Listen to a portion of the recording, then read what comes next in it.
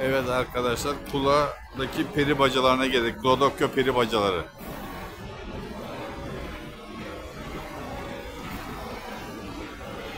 Evet arkadaşlar gördüğünüz gibi.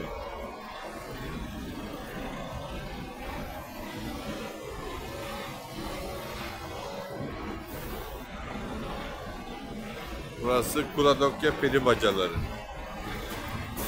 Kula'ya 15 kilometre mesafede.